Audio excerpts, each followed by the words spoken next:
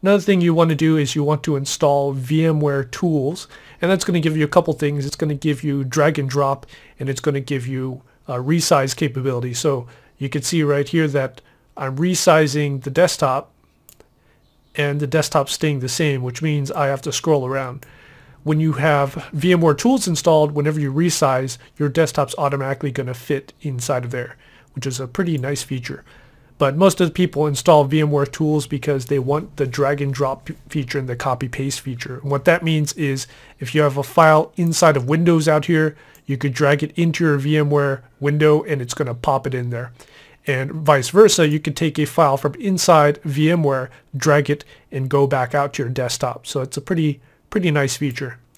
May not be the best for security reasons, but uh, for most people practicing, um, it's pretty nice. So Let's go in and install VMware Tools. Pretty easy. We go up here to VMware, install VMware Tools. And what this is going to do, it is going to mount a virtual CD inside of the virtual machine. So you can see here this CD icon and this tar.gz. This is, uh, now don't get scared here if you guys aren't uh, Linux guys. GZ is just another type of zip file, another type of compression. What we're going to do is we're going to copy this file. So copy, and we're going to copy it into our router gods folder and downloads. I'm going to right click paste in there. So we've got this file in there. Now we can right click on this CD icon, e eject it. Don't need it anymore. We've already gotten the file out. Okay, so it's gone now. We're going to right click on this guy and extract here. So it's basically unzipping that file. There we go. Go into the, the VMware tools and you can see we have a VMware install.pl. Now what we're going to do is we're going to drop down to terminal and get to that file. So don't be scared. It's actually pretty easy. So we're going to close that window. Go into, let me resize this here. Go to the bottom left hand corner, click on that menu icon and click terminal. And I believe on most Linux systems you should be able to do a Control T. Oh, maybe not. Alt T. Apparently not in Linux Mint. Usually Control T or Alt T gives you the terminal window. Okay, I guess it doesn't work in Linux Mint. So we'll do it the old-fashioned way. Click on the menu and click on terminal. And there's our command line terminal. We are now in the router gods folder, so we can list the files by doing ls. If you want a top-down list, it's ls space dash l, or the long way, I guess you could call it that.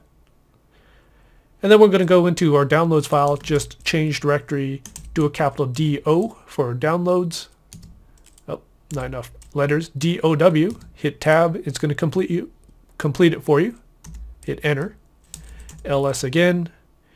And we're going to go into the VMware tools-distribution folder. You can tell it's a folder in Linux Mint because it's blue. So cd vm, hit tab, it's going to complete it.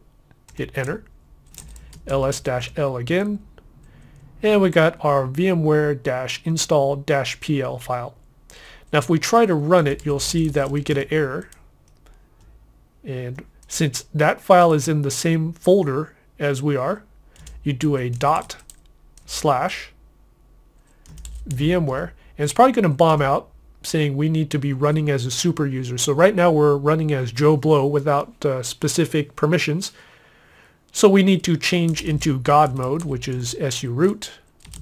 Our password is router gods. And now you can see I and that router god's name is in red, which means I'm in super user mode. Red means usually you don't want to be in this mode because you could pretty much do anything.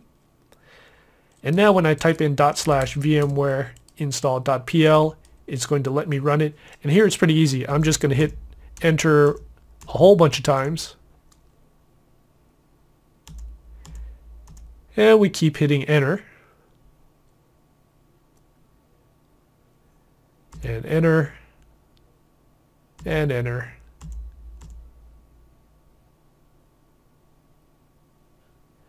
It's going to copy a bunch of files, do a bunch of installs and make. So what's happening here is it's compiling and making a, a binary for you. It's also modifying a whole bunch of uh, text files.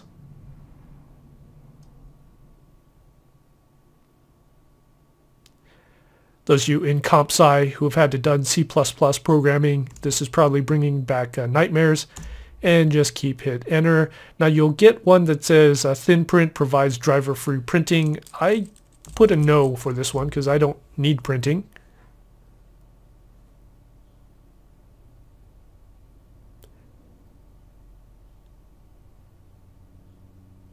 Okay, we're done. And so what you want to do here is close out the terminal window and do a restart. Let's check things out. So you'd go to quit, restart. Okay, my Linux Mint has restarted. First, before we check out the drag and drop and the auto resize, let's go up to VM and then we want to make sure some of our settings are set. So go to VM and settings. Then we're going to go to options, that second tab right there, and then click on VMware tools.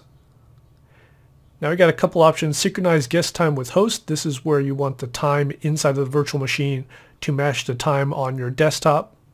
Uh, you could check that if you want. It's not a problem usually. Shared folders. You can have shared folders that will be able to access, so both, both your virtual machine and your host will be able to see it.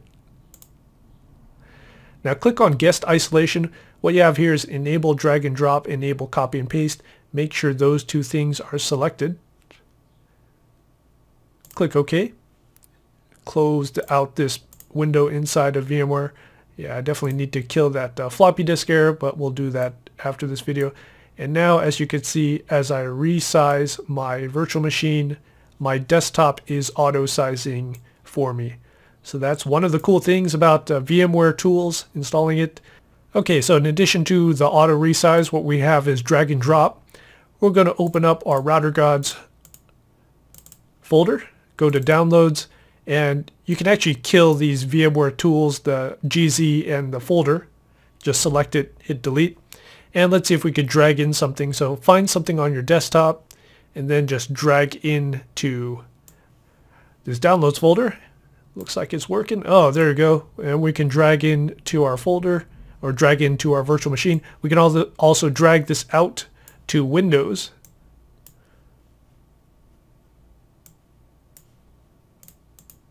Okay, so let's, oh, where's my VM? Okay, let's see if we can drag this out to Windows and move it in place. Yep, it's on my Windows machine right there. Okay, so that was a quick and easy tutorial video on how to install Linux Mint 14 64-bit inside of VMware. Stay tuned for those of you guys who are in my Router Gods classes. We're going to talk about installing GNS3 inside of Linux. Thanks for watching.